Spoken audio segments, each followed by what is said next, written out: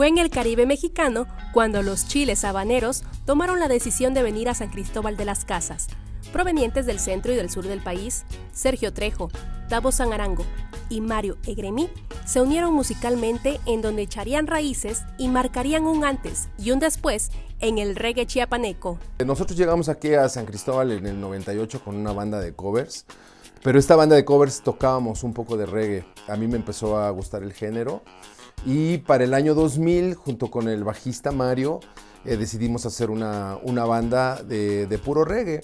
Eh, esta banda no tenía nombre. La fundamos en los, este, los que los artífices, pues somos o fuimos Cheques y yo. Tocábamos ya con Tabo, el tecladista, lo invitamos a, a unirse al, al proyecto y sí jaló. Y después invitamos a un amigo de ellos dos, de la Ciudad de México, guitarrista Jacobo. Y así surgió Bacté. A decir de Cheques, Bacté en maya significa juntos. Es algo así como unión, como lo que hicieron con el resto de los miembros que se integraron a la agrupación. Fabián, quien fue el percusionista, y otros músicos originarios de San Cristóbal de las Casas. Su canción, El Estuche, es la más famosa y representativa de Chiapas en el nuevo milenio. Y cuando alguien la escucha, no hay quien se le resista. Este, esa canción, de hecho, fue la primera, la primera canción que, hicimos.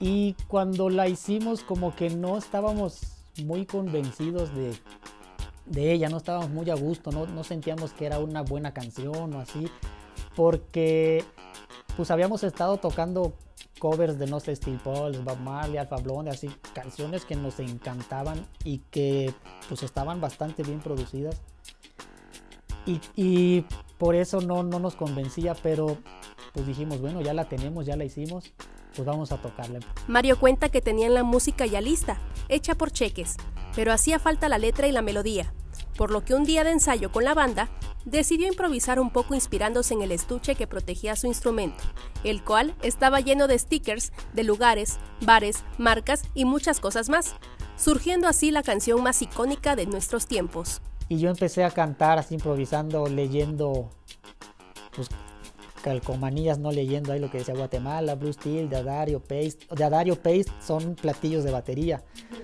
Y así cosas iba leyendo, ta, ta, ta, ta, y y nos gustó y ellos dijeron, ¿qué, qué es eso que cantaste? ¿Qué onda? Y ya les expliqué, pues es lo que dice ahí en el, en el estuche y entonces ya después acomodé, acomodé las palabras para que tuviera más coherencia rítmicamente y que no tiene coherencia, este, digamos literal o así, porque pues voy diciendo las marcas.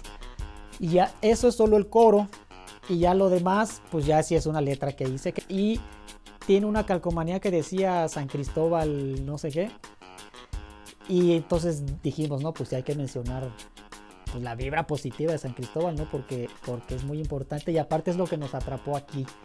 Entonces dijimos, sí, este, hagámoslo como, como tributo a San Cristóbal esta frase. Y esa frase creo que fue la que, la que hizo que gustara, que gustara tanto la canción. Una vez un miércoles que no había mucha gente en el lugar donde trabajábamos, la tocamos, nadie nos hizo caso, ni nos aplaudieron, ni nada.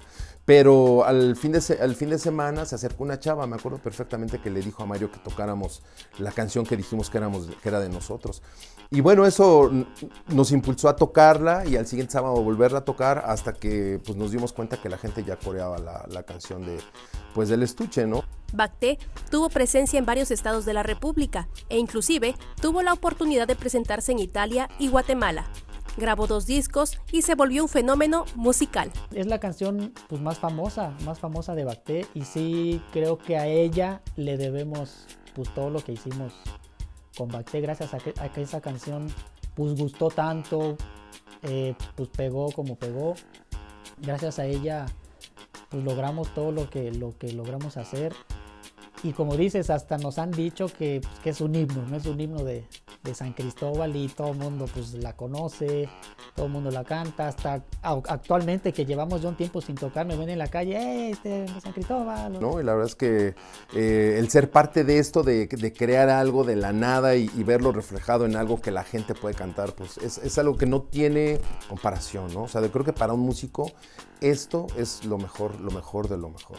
Empresarios y jóvenes voltearon a ver la escena musical que surgía a principios del nuevo milenio en el estado y que hoy día sigue siendo un referente para muchos que aman el reggae, que aún no ha muerto, y la música en general. Cuando decidimos eh, hacer una banda completamente de reggae, eh, cuando los empresarios se dieron cuenta que Bacteria estaba abriendo como el camino del reggae, pues empezaron a venir bandas como Antidoping, Rastrillos, que pues eran las bandas más importantes y eso fue un, un empuje bastante fuerte al género y definitivamente pues Bacter era el, el, grupo que representaba todo el estado. Actualmente su música se puede escuchar en todas las plataformas digitales. Luego de varios años de inactividad, Bacte espera pronto volver a los escenarios y a crear música en su casa, San Cristóbal, La Vibra Positiva. Para Alerta Chiapas, Carolina Castillo.